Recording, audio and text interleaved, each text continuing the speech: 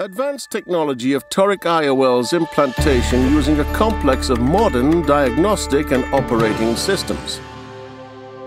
Modern approaches to cataract surgery are based on the capability of standardizing each surgical step using computer technology. Such units as integrated anterior segment optical coherence tomograph, video microscope and femtosecond laser are applied in LensX laser in order to carry out image-guided cataract surgery. These real-time images made via ear video microscope and optical coherence tomograph, OCT, help the surgeon to align the patient's eye with the system during docking.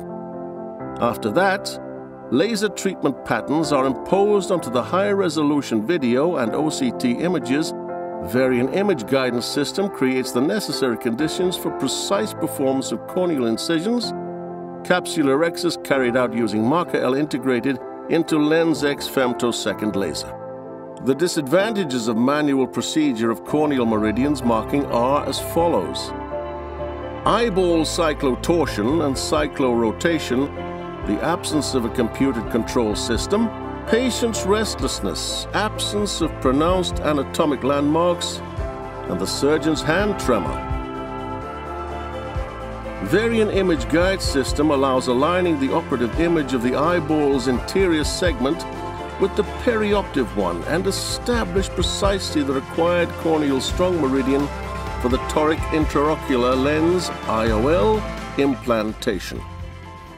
Nevertheless, clinical changes, hemorrhages and conjunctival chemosis caused by a long-term vacuum application appear on the eyeball surface after docking during femtosecond laser surgery step, which complicate patients' registration in variant Image Guidance System after the femtosecond laser surgery step.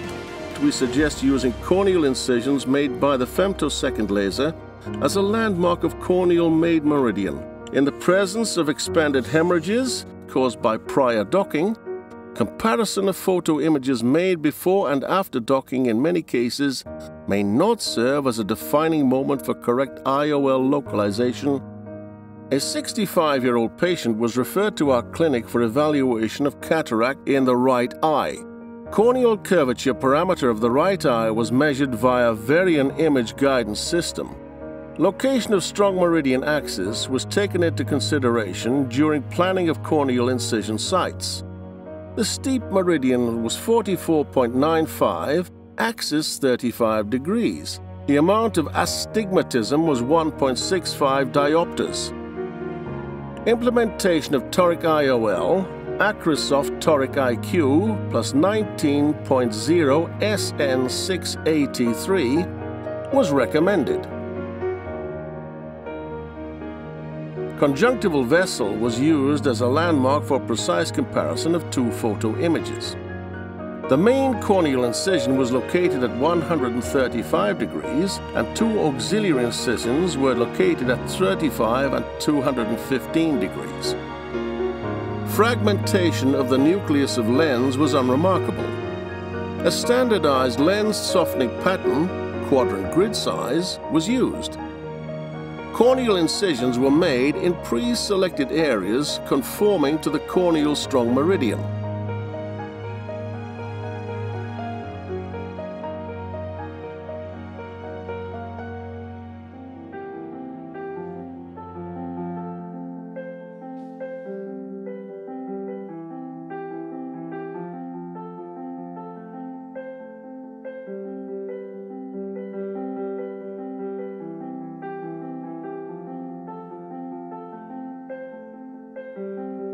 After completion of the entire laser emission procedure, the vacuum surface was removed and the patient was transported to a day surgery operating room. The laser step of the surgery accomplished with Verion Image Guide System and femtosecond laser was followed by the next surgery steps performed using a modern ophthalmological equipment complex.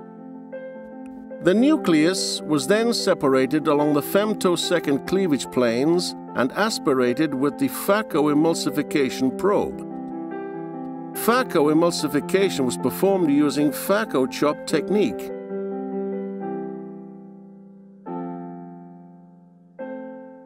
The lens masses are aspirated using bimanual aspiration irrigation system.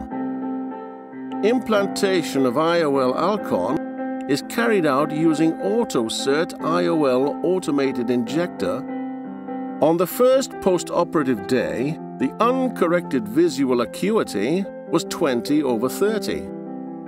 Thus, registration incisions of the cornea performed using a femtosecond laser and the Verion navigation system allows accurate identification of the main meridians of the cornea and set toric IOL.